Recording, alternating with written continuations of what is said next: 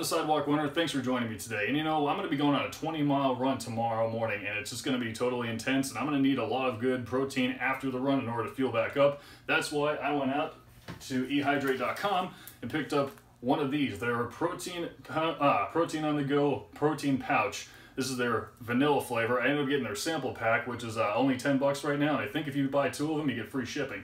Don't want to miss that deal. Um, I've been trying to do this one forever.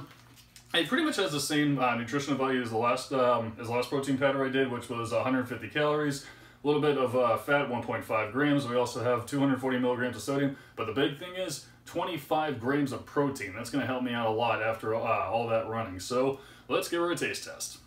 Now, if you remember in the last video, I was having a little bit of trouble getting those chunks out of the uh, out of the protein pouch, and it was mostly my fault. I probably wasn't shaking it properly. Oh, still little chunks around there. That doesn't look right.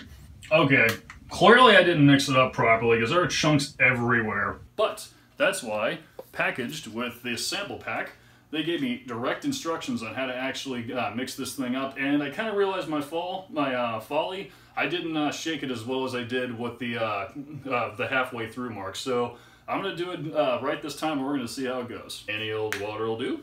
All right, here we go. All right, so I filled it about halfway up. So let's just tighten this thing up and start shaking.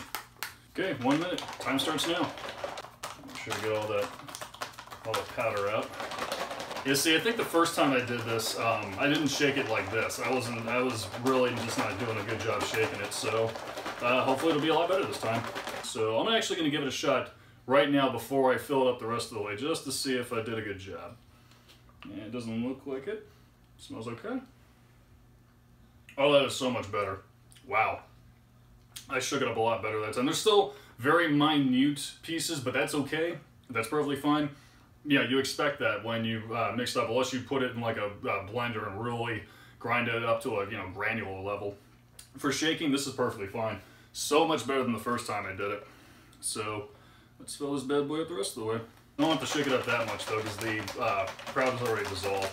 This thing is full. Look at that. That is a that is a filled pouch right there. All right, let's give her another try.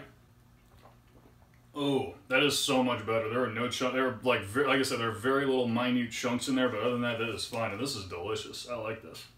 I mean, I don't have uh, vanilla. I don't have um, vanilla protein shakes too often, but this one's actually really good. I usually go for chocolate. That's usually just what they have available in the stores, but this is actually really good. Um, I'm surprised I haven't tried this sooner.